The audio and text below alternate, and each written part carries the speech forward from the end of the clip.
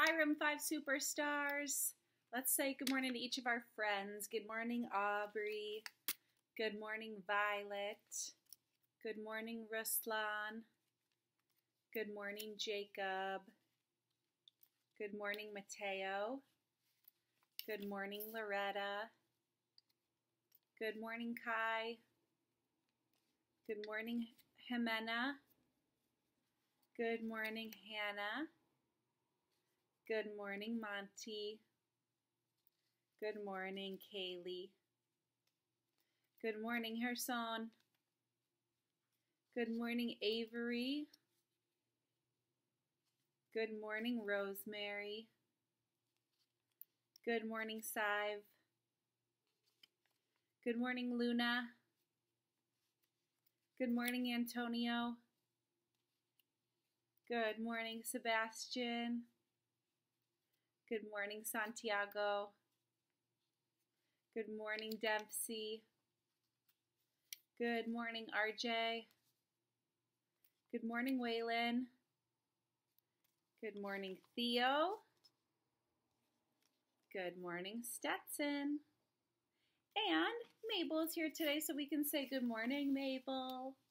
We're going to do a fun game in just a second, and Mabel will help us with that. So she, that's why she's here today. And she hasn't seen you in a couple days. She missed you a lot.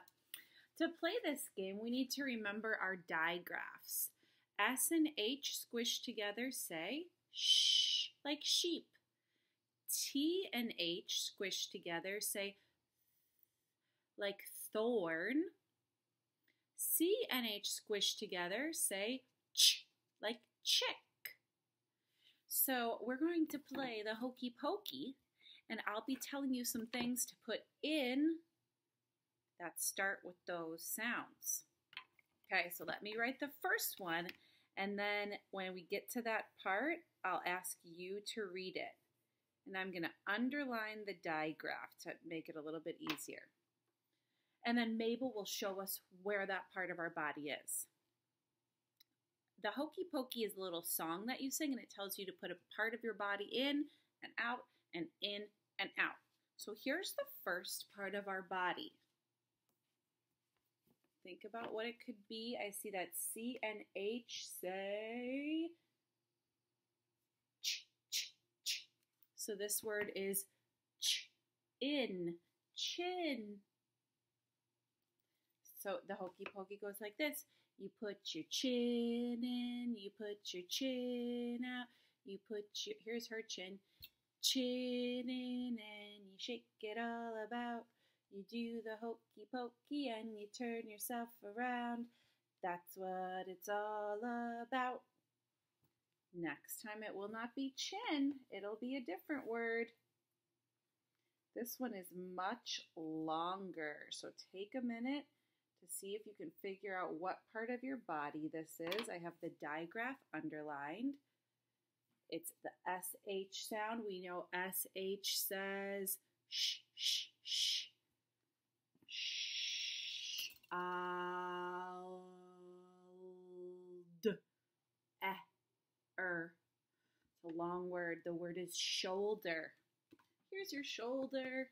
And Mabel's shoulders are here and another shoulder here. You put your, do it with Mabel. Get ready to put your shoulder in. Put your shoulder in. You put your shoulder out. You put your shoulder in and you shake it all about. You do the hokey pokey and you turn yourself around. That's what it's all about. All right, we have two more body parts. This one has a very funny spelling. I'll underline the digraph. What does T and H say? This one I'm not going to show you the chart. See if you can remember. It says um, thumb. It's just thumb. I don't know why that silent B is there. Thumb. Mabel doesn't really have a thumb, but we can imagine that it's here or here. Here's our thumbs.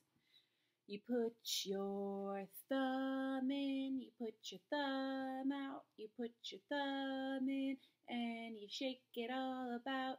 You do the hokey pokey and you turn yourself around.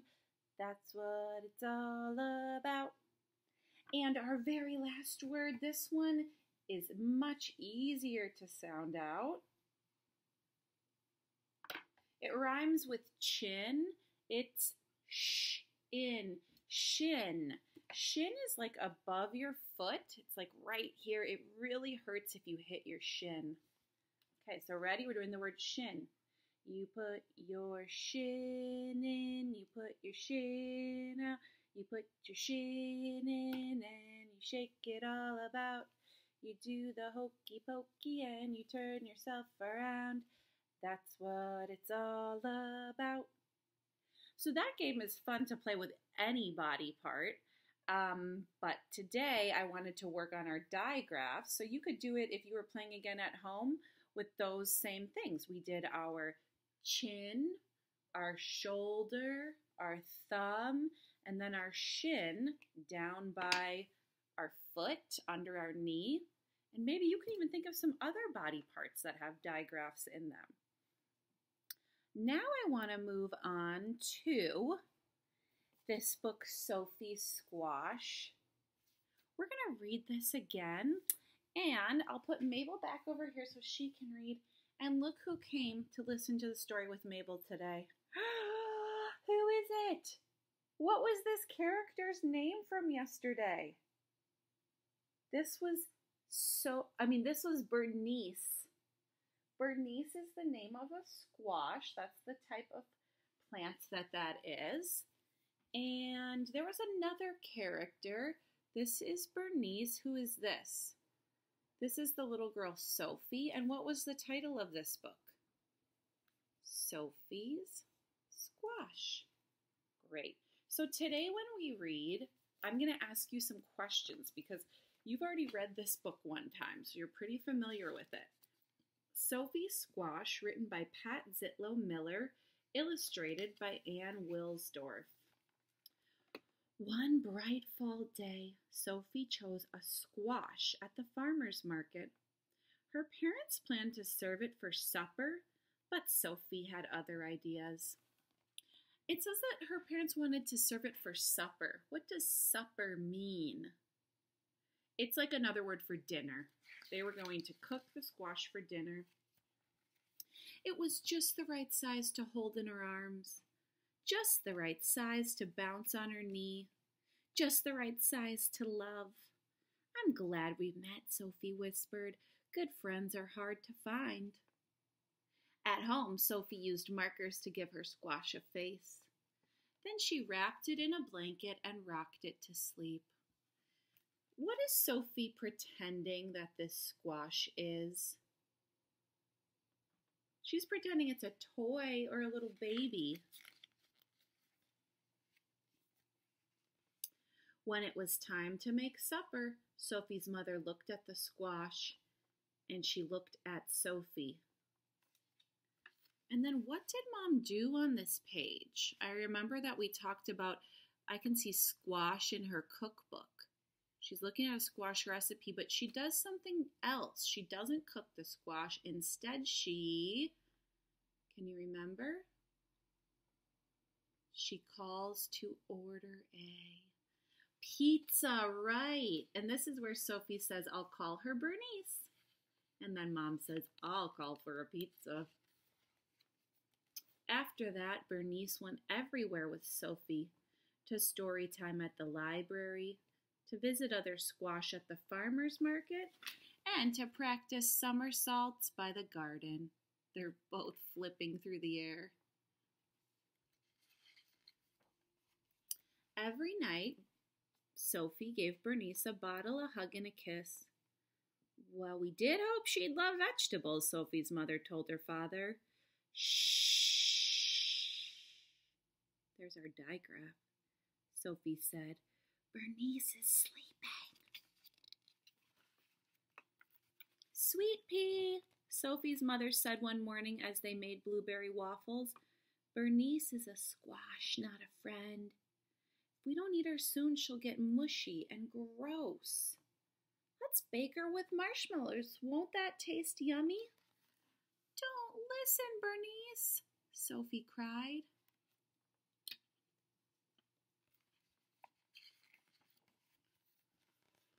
That afternoon, Sophie's father took her shopping.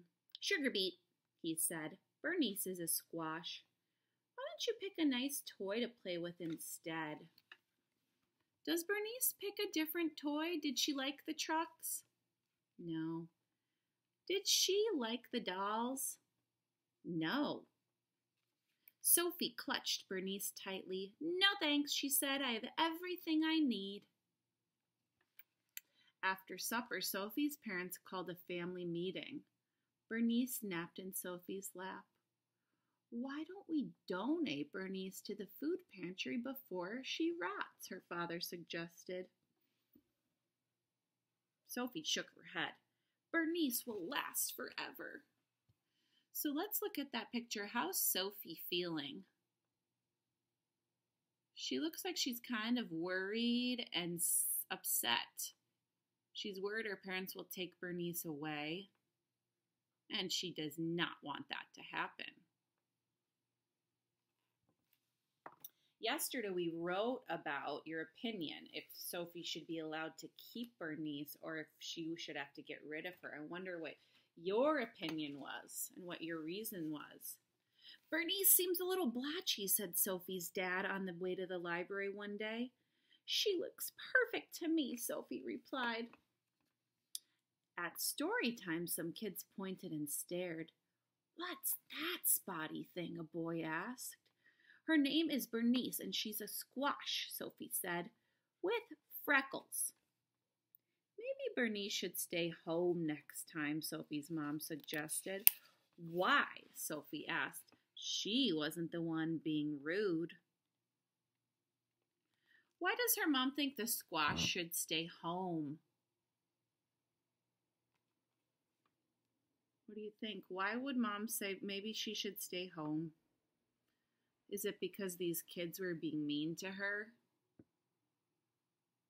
That's what I think. Yeah, maybe she's thinking other kids are being mean to Sophie because they don't understand why she loves that squash so much. Still, as winter neared, Sophie noticed changes. Bernice seemed softer and her somersaults lacked their usual style. Visiting friends will cheer you up, Sophie said. Hmm, what time of year is it? fall. They told us as winter neared. I know winter's right after fall. At the farmer's market, squash were everywhere. Firm, shiny squash. What keeps a squash healthy? Sophie asked a farmer. It's simple, really, he said. Fresh air, good clean dirt, and a little love. Well, Sophie thought, I have all that. So, what is Sophie thinking now? Well, I think she was getting a little worried that her squash is getting sick. It's getting mushy and speckled, spots on it. And so she asked somebody who's good about growing squash what they need to be healthy. And now, do you remember what she does with the squash? I think this is where she puts it in the ground. At home, Sophie cleared leaves from Bernice's favorite spot she made a bed of soft soil, tucked Bernice in, and kissed her good night. Get better soon, she whispered. That night, while Sophie slept, the wind whistled and tiny snowflakes fell. So now, do, what season is it? Do you think it's spring? No. What about summer? Fall? I think it's probably turning to winter now, right? Winter is when we usually see snow. When she awoke, the world was covered in white. Do you think Bernice is cold out there? Sophie asked her mother. I'm sure she's warm and cozy under her snow blanket, her mother replied. She was still there. Oh, Sophie gazed out the window all morning. She was still there in the afternoon when her father came home with a surprise. You need a new friend, he said. Who is the new friend Sophie's dad brought? It was a fish. Do you remember the fish's name? Ace. Meet Ace. Ace was nice but boring. He just swam around and around in his bowl. But during the long winter, Sophie discovered that Ace was a superb silent reader who did fabulous flip turns. And he always listened politely when she talked about Bernice. Bernice was great at keeping secrets, that's what she's saying. She mentioned that the fish is a superb silent reader. Do you think that's true? Probably not. Fish don't really read, right? But they do stay nice and quiet. When the snow finally melted, Sophie rushed to the garden. The only thing there was a small green. What's that word for a tiny plant? Sprout. Yeah. It looked strangely familiar. Why does this plant look familiar to Sophie? Why does she recognize it? It's a squash plant, just like Bernice was. Bernice, Sophie said, how was your winter? So, does it still look like winter? What season do you think it is now? I see that like things are just starting to grow. There's the leaves, I mean, the tree is not all full of leaves. This plant is just starting to grow. It's probably spring, like maybe April, when things just start to grow. After that, Sophie, Ace, and Bernice ate lunch together every day. One bright summer morning, some, Sophie somersaulted across her yard, landed by the garden, and stared in disbelief. Why is she staring in disbelief? What does she see? Remember, two baby squashes. This plant is reproducing. Bernice had grown two tiny squash. Well, Sophie told them, you look just like your mom.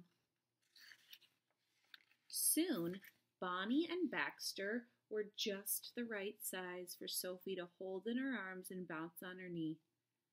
Just the right size to love. So, was Sophie a good friend to Bernice?